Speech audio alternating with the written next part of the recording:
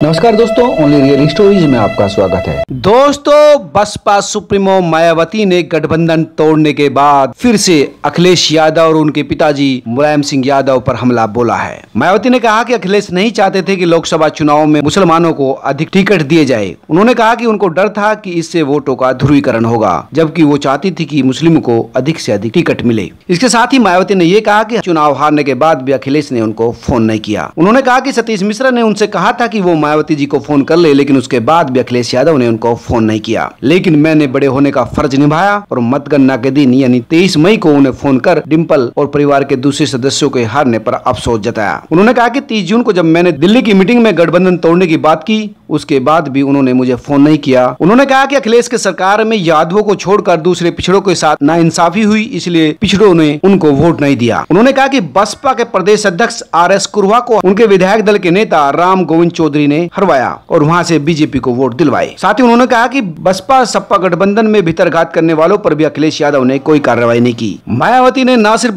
अखिलेश यादव पर आरोप लगाए, बल्कि उन्होंने मुलायम सिंह यादव को भी नहीं छोड़ा। उन्होंने कहा कि मुझे ताज कॉरिडोर केस में फंसाने वालों में न केवल बीजेपी थी, बल्कि मुलायम सिंह यादव का भी महत्वपूर्ण रोल था। लेकिन मैंने इसे भूल कर भी मुलायम के लिए वोट मांगी, लेकिन अखिलेश यादव ने इसकी कदर ही नहीं की। मायावती के इन आरोपों के बाद समाजवादी पार्टी ने भी बसपा सुप्रीमो पर पलटवार किया है। सपा के राष्ट्रीय सचिव और मुख्य प्रवक्ता राजेंद्र यादव ने कहा कि मायावती के आरोप पूरी तरह से गलत है, क्योंकि हमारे राष्ट्रीय अध्यक्ष अखिलेश यादव का चरित्र किसी को धोखा देने वाला नहीं है। उन्होंने कहा कि सपा संविधान का सम्मान करती है और समाजवादी विचारधारा पर विश्वास करती है। उन्होंने ये कहा कि कोई कुछ भी कहे, लेकिन उन्होंने कभी मायावती पर व्यक्तिगत टिप्पणी नहीं की। सपा ने हमेशा बेहतर काम करने और सबको साथ लेकर चलने का काम किया है और गठबंधन का धर्म भी पूरी ईमानदारी से निभाया है। इसलिए ये सब आरोप पूरी तरह से बेबुनियाद है। चैनल को सब्सक्राइब करें लाइक करें और अपने दोस्तों के साथ शेयर भी करें।